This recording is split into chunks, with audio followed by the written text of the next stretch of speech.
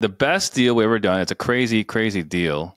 Was we bought a house that it was inherited. So it was a family where four siblings grew up inside the house.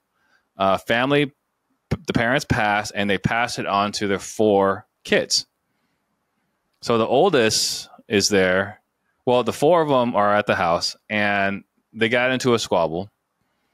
The oldest goes into a closet or whatever and pulls out a Louisville Slugger, and tries to take him out. Right, like he attacks them. They run out of the house. Oh my goodness. So we get this lead. It's a code violation, if I recall correctly.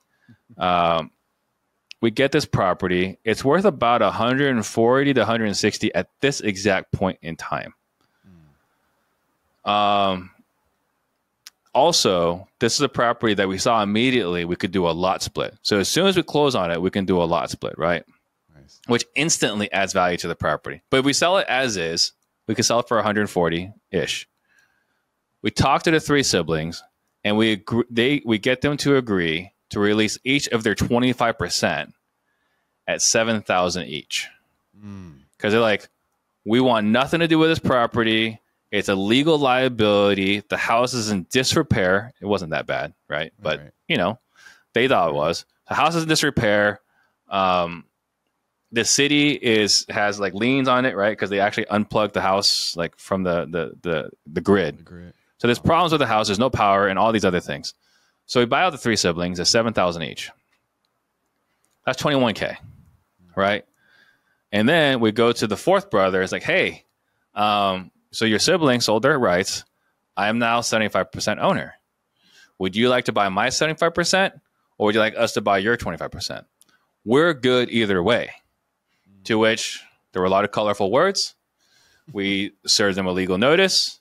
He attacked the process server. Uh, he wasn't able to hurt her, but he threw a brick at her car as she was driving away. Oh my goodness. Right. So we go to we do a partition sale, and the judge forces the sale. And the judge says market value is one hundred sixty thousand dollars.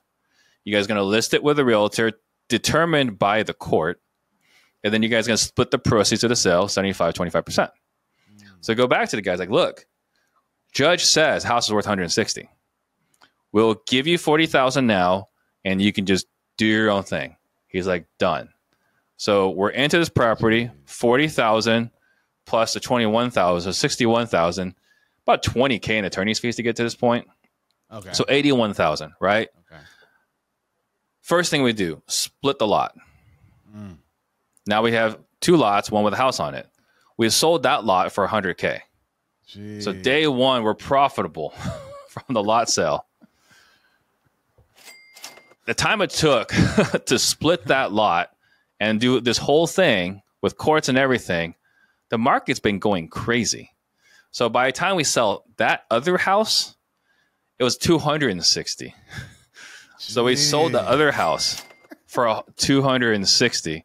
So that was we cleared a quarter. I think after everything was said and done, about 230 net uh, to oh us. Oh my goodness. Look, I'm gonna drop a bomb.